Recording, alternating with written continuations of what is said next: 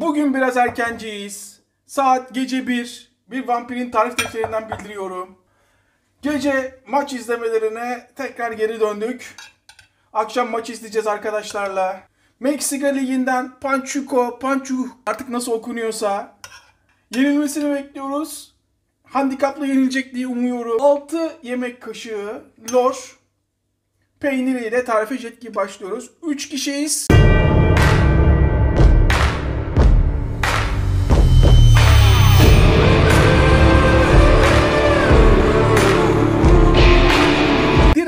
Lor peyniri yapanlar var. Bu yanlış. Şöyle yanlış. Tabii ki yapabilirsiniz ama lezzetli olmaz. Bunun yanına en az 2 yemek kaşığı da şöyle bir diyelim. Şurada 2 olsun. Beyaz peynir. Eğer lezzetli olmasını istiyorsanız mutlaka beyaz peynir katmayı unutmayın. Lor peyniri ve beyaz peynir. Hop! Düşeş! Yine açta kaybediyoruz. Barbaros ve ben ve bir de arkadaşımız maç izleyeceğiz. Onlar maçtan sonra sabah karşı işe gidecekler. İki tane sarımsak. Ben gitmiyorum. ben o işleri bir 20 sene önce bıraktım. Artık mütevazi takılıyorum. İki sarımsak ekledik. Şöyle bir, iki yemek kaşığı iyi ezebilmek için zeytinyağı. Erken uyanıp yataktan fırlayan, giyinip zorla bir şeyler atıştıran, başka birine para kazandırdığı bir yere ulaşmak için trafikle boğuşan ve tüm bunlara sahip olduğu için müteşekkir olması istenen biri hayattan nasıl keyif alabilir? Görüyor musunuz? İyice ezdikten sonra süzme yoğurt markası hiç önemli değil. Ta ki biri bize sponsor olana kadar. 3 kişilik için 2 yemek kaşığı süzme yoğurt. Yani ne kadar lor peynir kullanırsanız onun üçte biri kadar beyaz peynir ve üçte biri kadar süzme yoğurt. Dereotu ama lezzet ufak detaylar saklı biliyorsunuz. Dereotunu bakın mutlaka ama mutlaka şöyle üşenmeden saplarını kullanmıyorum ve sadece yaprak bölümünü kullanıyorum. Bakın görüyor musunuz? Sadece yaprak bölümü. İnceltebildiğim kadar incelttim. Şöyle köşeye ayırıyorum. Köşeye ayırdıktan sonra bir tutam, bakın aynen böyle bir tutam ayırıyorum. Üstünü süslemek için. Hatta biraz daha alalım. Evet. Dereotu hemen içine. İç harcımız hemen hemen hazır gibi. Bunu biraz daha lezzetlendirmek için şöyle bir, iki yemek kaşığı da zeytinyağı toplam 4 yemek kaşığı oldu. Ve çırpıcıyla tamamen içine girmesini istiyorum. İç içe girip akışkan olmasını istiyorum. Ama kıvamının sert olmasını istiyorum. Anlıyor musun? Böyle sapıklar var ya her şeyi isteyip. Ay Allah'ım. Şimdi bak. Şunun görüyor musunuz? Bırakınca düşüyor ama patır patır da dökülmüyor. İstediğim kıvam bu. Bitti mi? Bitmedi vatandaş. Buna bir de sos yapmamız lazım. Hemen bir limon. Şöyle limonu ortadan ikiye kesip. Bu arada biberleri nasıl pişirdiğimi dikkat edin. Fenerbahçe'yi gördünüz değil mi Samsun maçını? Berabere kaldık.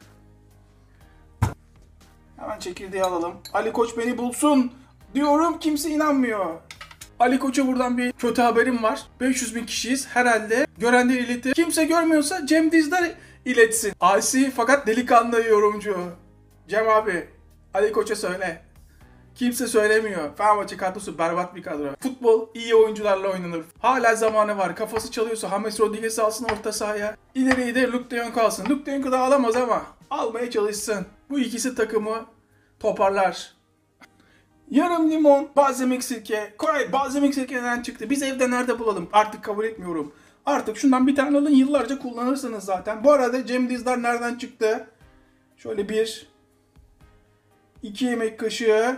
Tekniği alırsak senelerdir peşindeyiz almak için. Devamlı zam geliyor. Kendisiyle bir yemek yapalım. Duyuyordur. Merak etmeyin. Ali Koç beni bulsun.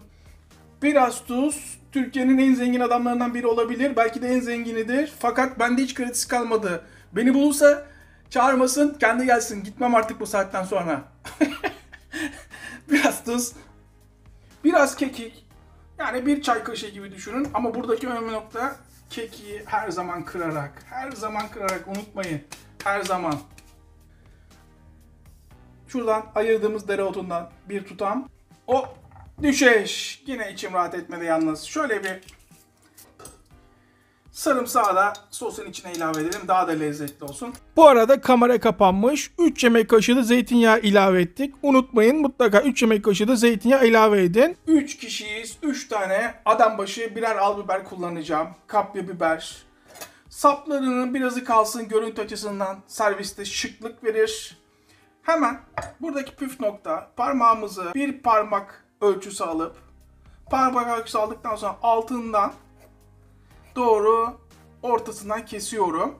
Daha sonra bir parmak alt taraftan bırakıyorum. Bir çay kaşığı yardımıyla hemen şu fazla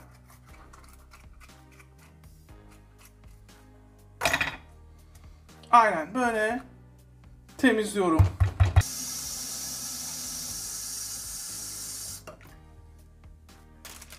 Bir yağlı kağıt, yağlı kağıda buruşturup bunu doğru pişirmek çok önemli. Bakın iyice ıslattıktan sonra sıkabildiğiniz kadar sıkın. Suyla işimiz bitti. Daha sonra aç. Şöyle üstünü kapatacak şekilde. Çünkü bunun közlenmemesi, çok fazla pişmemesi bizim için çok önemli. Bu hemen fırına. 200 derece 20 dakika. 20 dakikada pişiyor. Şimdi fırın kullanırken doğru kullanmayı bilmek ne kadar önemli. Farkına varıyor musunuz? Kağıt kapattık. Kesinlikle. Közlenmedi. İlk, ilk seferde közlenmesini istemiyoruz çünkü. Suyunu içine akıt. Evet. Evet. Çok sıcak. Suyunu içine akıt. Lezzet ufak detayda saklı. Görüyor musunuz? Şu suyunu da akıtalım. İşte bu. Buradaki önemli nokta bakın kabuklar kesinlikle kalkmamış. Kendini salmamış. Şöyle göstereyim. Görüyor musunuz? Kendini salmamış. Şimdi sıcakken eklemek istemiyorum. Bekleyeceğim. Biraz el değmesi kadar soğusun yeterli. Şöyle bakalım. Evet. Elin değeceği sıcaklıkta. Hatta soğumuş bile diyebiliriz. Son bir kez şöyle bir karıştıralım. Karıştırdıktan sonra hemen içine hemen diplerini dolduruyorum ve bırakıyorum. Lezzetlendirmek isteyenler için nar ekşisi ne kadar kaliteli kullanırsanız o kadar lezzetli olur. Biz ev ortamında yapıyoruz. Elimizdekinin en iyisini kullanmaya çalışıyoruz. Biraz nar ekşisi. Çok az zeytinyağı.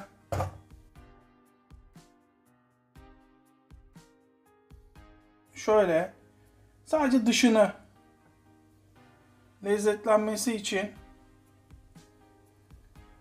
yerken tatlı bir tat gelmesi için üstü açık bir şekilde bu tekrar fırına 200 derece 20 dakika iç harcı sertleşip közlenene kadar. çok sıcak dikkatli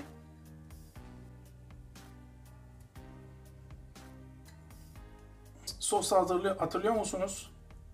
Hemen şu yanlarından kabuklara değsin. Sizden istediğim kabuklara değsin. Evet.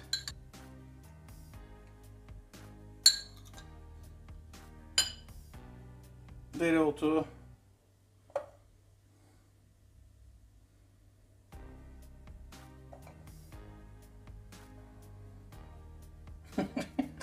Şunun lezzetsiz olma şansı var mı? Michelangelo, Da Vinci, Picasso, Ali Koç! Gözüm üstünde oğlum, gözüm üstünde. Bana sorarsanız tablo gibi oldu. Ama nasıl kadar iyi gözükürse gözüksün. Önemli olan tadı. Siz yaptığınız zaman herkes parmaklarını yemeli. Hangisini alalım? Aklınızdan geçirin. Hangisini beğendiyseniz yorumlara yazın. Bakalım aynısını mı düşündük? Şunu, şunu da yerim diyenler çıkmıştır ama şunu yemekte fayda. Şimdi ilk başta şöyle bir iç harcına bakacağız. Lezzetli olması pişerken. Açın ağzınızı şöyle bir bakın bakalım. Evet. Şimdi şöyle büyük bir parça koparalım. Sosundan çatal yardımı üstüne sosu. Evet. Açın ağzınızı.